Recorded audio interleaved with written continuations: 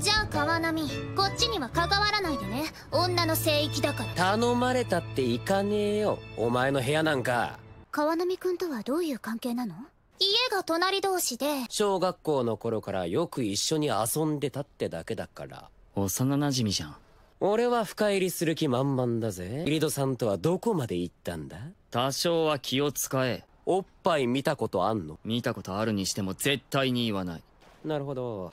なるほど夢のおっぱいを見ていいのは僕だけだ!ってことだなイリド!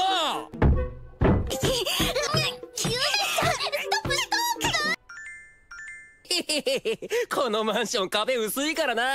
僕は泣き寝入れするつもりはない。おい!将来の夢か。よせイリド将来僕の将来の夢は警察官です。